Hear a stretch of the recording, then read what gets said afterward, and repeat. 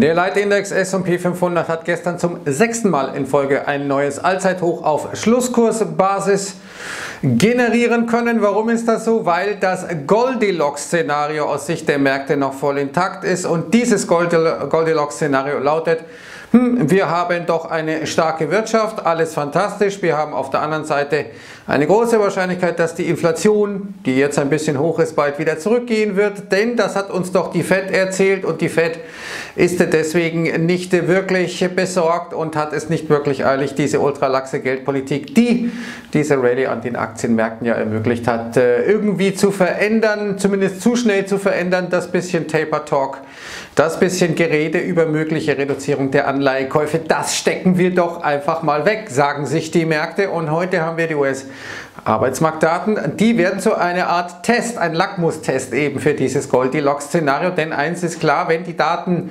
schlecht sind, dann wäre das, naja, nach den zuletzt ohnehin etwas schwächeren US-Arbeitsmarktdaten schon ein Beleg dafür, dass die Wirtschaft nicht so richtig vielleicht äh, in den Boom kommt, wie man sich das vorgestellt hat vielleicht.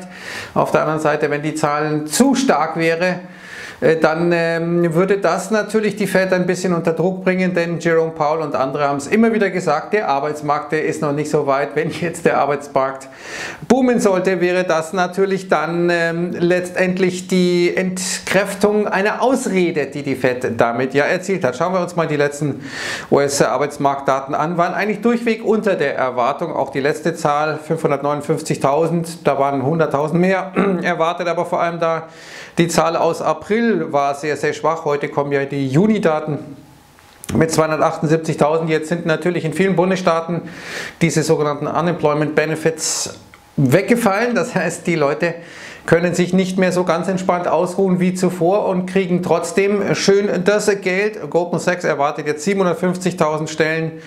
Die Konsenserwartung liegt bei 700.000. Also Goldman Sachs ist ein bisschen drüber. Man sagt, ja, da kommen einige Junge jetzt äh, auf den Arbeitsmarkt, also die, die praktisch jetzt äh, studieren oder vielleicht in die Schule gehen, die werden irgendwelche Kurzzeitjobs antreten. Das seit durchschnittlich 1,8 Millionen typischerweise im Juni und eben dann diese Unemployment Benefits, die jetzt ein bisschen auslaufen. Es gibt unterschiedliche ähm, Indikationen mal wieder für die heutigen US-Arbeitsmarktdaten bei den äh, Einkaufsmanager-Indizes eher schwach die Komponente Beschäftigung. Der ADP am äh, Mittwoch war relativ gut.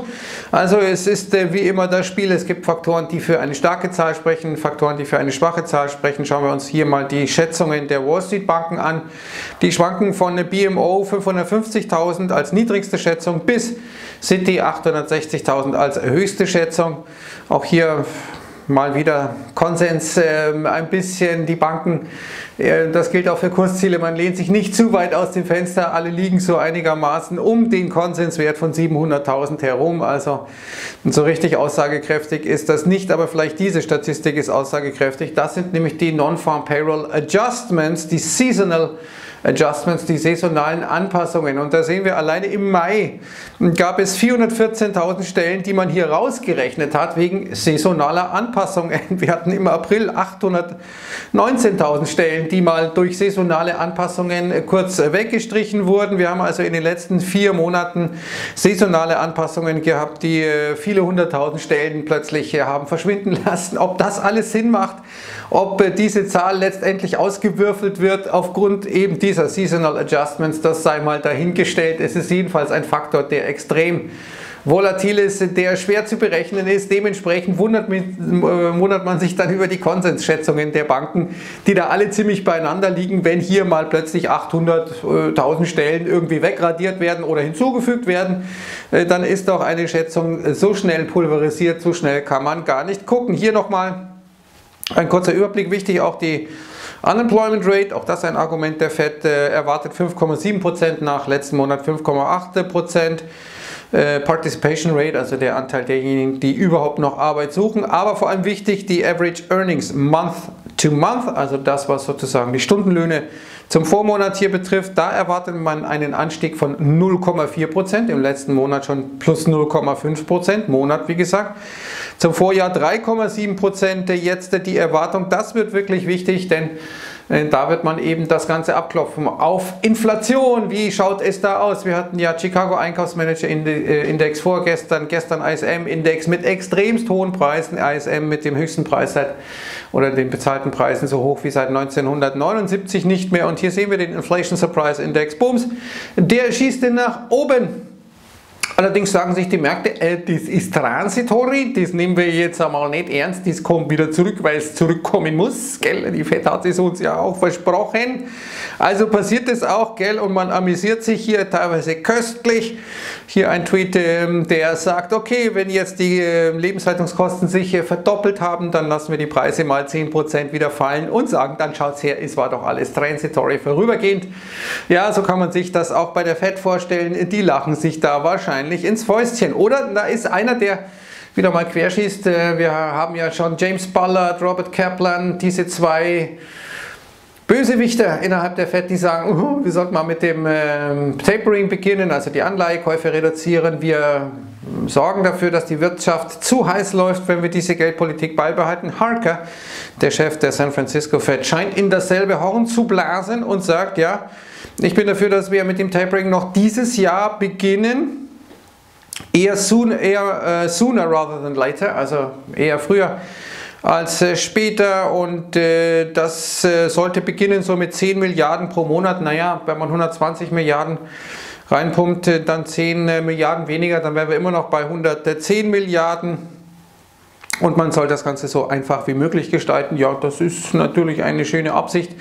Wir sehen, dass äh, auf der anderen Seite die Break-Evens, die Inflationserwartungen ein bisschen runtergegangen sind. Auf der anderen Seite sehen wir hier die Tipps. Das sind die inflationsgeschützten US-Staatsanleihen. Also wer Inflation erwartet, der kauft gerne solche Tipps, weil er sagt, hm, dann ist das Thema Inflation für mich irrelevant, weil das praktisch abgezogen wird. Und diese Tipps gehen hier nach oben. Das bedeutet, dass letztendlich hier dieser Markt zumindest äh, hier sagt, naja, mit Transitory, das könnte anders aussehen. Da sind wir jetzt aus einem Seitwärtstrend oder aus einem leicht abwärts gerichteten Trend, nachdem es vorher nach oben ging, wieder nach oben ausgebrochen. Und nach oben ausgebrochen ist auch, wie Sie hier sehen, der Dollarindex unten in der Grafik. Das sieht äh, schon nach einer ziemlich feisten Geschichte aus. Euro-Dollar 1,1840 um und bei. Derzeit, wir sehen, dass Gold natürlich darunter leidet. Äh, letzten Monat äh, war das der schlechteste Monate für Gold seit viereinhalb Jahren, aber dennoch, Gold fällt jetzt nicht weiter. Man hält sich so in dieser Zone 1775, obwohl der Dollar so stark ist. Das ist erstaunlich. Wir sehen also Dollarstärke.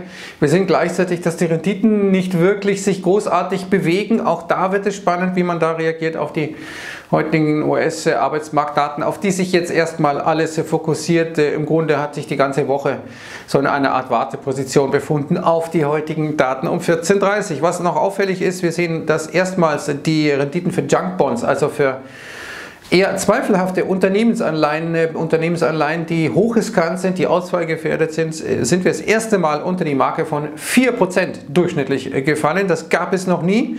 Es zeigt dieses Goldilocks-Szenario, oh super Wirtschaft, da geht schon keiner pleite. Dementsprechend sind wir froh für jedes Prozentchen Rendite, das wir bekommen und sei es von eher miserablen Unternehmen. Wir waren im Dezember 2008 mal bei 23 Prozent, jetzt sind wir wie gesagt, das erste Mal ever unter der 4% Marke. Noch ein paar andere Geschichten. Europa könnte jetzt bald äh, die USA in Sachen äh, Impfungen überholen. Deutschland hatte die USA schon überholt. Also vielleicht muss man das auch mal äh, jetzt sagen, dass es so schlecht dann doch nicht in Deutschland gelaufen ist nach Anlaufschwierigkeiten mit den Impfungen. Inzwischen haben wir die Amis überholt. Da gibt es noch mehr Impfskeptiker als hier in Deutschland. Vor allem die Republikaner, die Trump-Anhänger sind da überdurchschnittlich begabt in dieser Hinsicht. Wir sehen also, dass das jetzt in Europa auch passiert, was in Deutschland äh, geschafft wurde, dürfte in dieser Woche schon äh, passieren. Die Amis kriegen die Impfquote nicht so richtig nach oben. Und äh, wir blicken nochmal nach China. Hier ist ja der 100. Äh, Geburtstag der chinesischen kommunistischen Partei gefeiert worden. Xi Jinping hat gestern auch nochmal in seiner Rede klargemacht, Taiwan, das muss heim ins Reich sozusagen.